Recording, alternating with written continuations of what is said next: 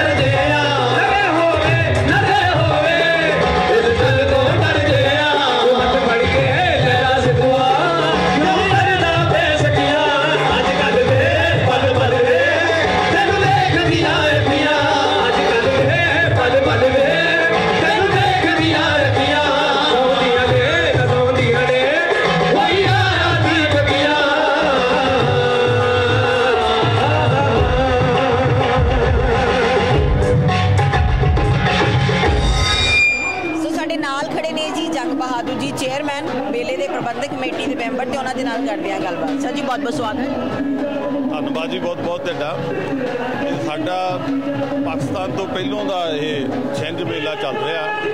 ਤੇ ਸਾਰਾ ਨਗਰ ਇਕੱਠੇ ਹੋ ਕੇ ਅਸੀਂ ਮਨਾਉਂਦੇ ਆ ਤੇ ਜ਼ਿਆਦਾ ਯੋਗਦਾਨ ਸਾਡੇ ਐਨਆਰਆਈ ਭਰਾਵਾਂ ਦਾ ਹੁੰਦਾ।